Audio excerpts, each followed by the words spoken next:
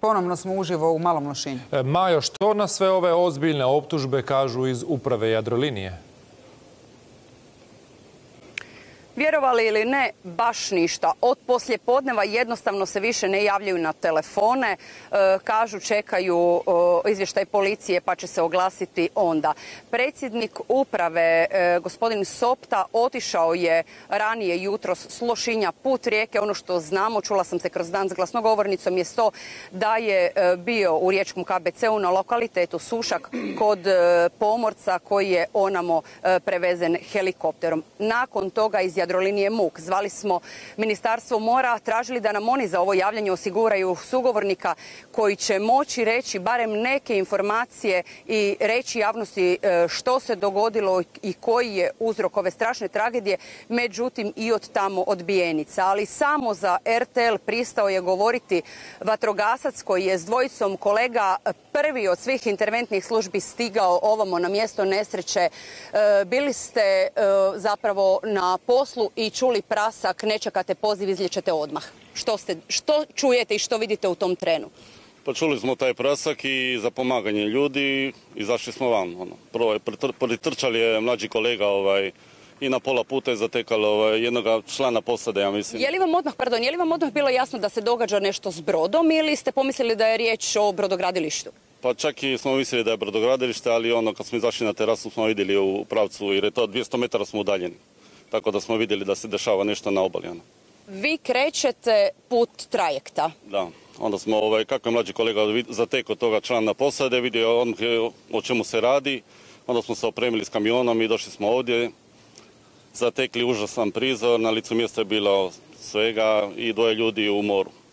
Što tada radite? A pristupamo spašavanju u stvari onoga što se more, ono, što se more napraviti tada, ono što rade vatrogasci. E, tko su osobe u moru? E, jedan od njih je član posade? Jedan od njih je član posade, a drugi je čovjek koji je održavao ovoga na površini jer je on bio zliječen. Ono, to je to. E, koga vi tada zovete? Tko dolazi, tko priskače u pomoć? Mi smo isto vrijeme zvali znači, sve kolege i druge službe 112 i tako da smo praktički svi bili ovdje brzo. Tko ga vadi iz mora? E, mi smo pomagali zajedno sa kolegama sa hitne. Koliko godina iskustva imate, rekli ste mi, puno je tu bilo terena, puno e, strašnih scena koje i iskusni ljudi pamte godinama. E, koliko iskustva, koliko godina jeste li ikada nešto ovako vidjeli, doživjeli? Pa sad još malo pa će mi biti 30 godina da sam u službi. Vidio sam svega i svačega, ali ovo je svakako jedan od najtežih prizora. Ono, ostavi traga sigurno. Je li bilo zastrašujuće? Bilo je, da, dosta. To su bili, nećemo sad iznositi detalje, ali bilo je baš gadno. Što kažu vaši kolege koji su bili s vama? Vas trojica zapravo dolazi ovom.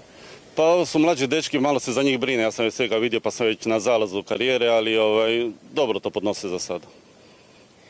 Hvala vam puno. Ono što je e, važno reći je to da je e, čovjek kojemu ste pomogli, kojega ste zapravo spasili, e, prebačen. To je osoba koja je prebačena helikopterom na sušak i koja je sada stabilno.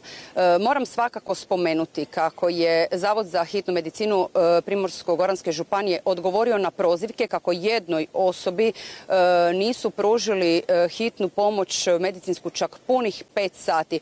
Oštro su to demantirali. Poslali su službeni dopis sa točnim vremenima. Dakle, bili su ovdje nakon što je zbrinut pacijent koji je helikopterom prebačen na sušak. E, oni pomažu, daju e, terapiju za smirenje spomenutom e, gospodinu pitaju, on negira bilo kakve druge probleme i oni odavdje odlaze. Nakon dva sata dolazi poziv policije da jednostavno čovjeka ne mogu probuditi, dobivaju upute dispečera.